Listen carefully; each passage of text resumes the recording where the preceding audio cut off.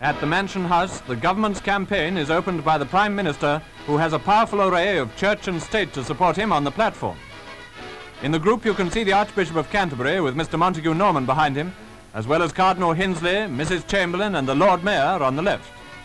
The Premier dealt with the stiff problems ahead, but had a heartening message to give. The oceans of the world have been swept clear of German shipping.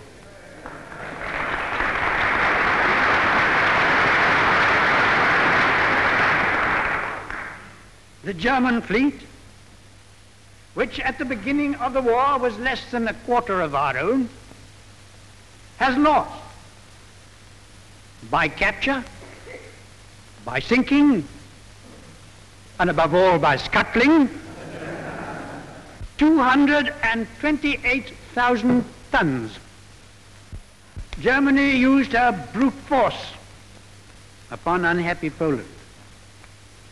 Today we can see how she is treating the Poles and the Czechs, exploiting their resources, carrying off their food, starving and shooting the people, tearing them and uprooting them from their homes in order to make way for Germans who in their turn have been forced to leave the lands where they and their families have been settled for generations.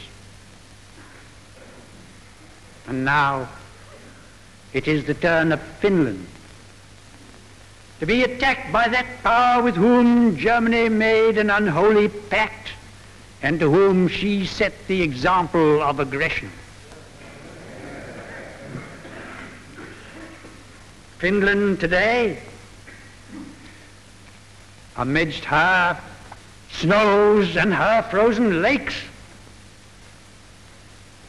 is fighting against the forces of unscrupulous violence just as we are ourselves. Whilst her need calls for our sympathy and our aid.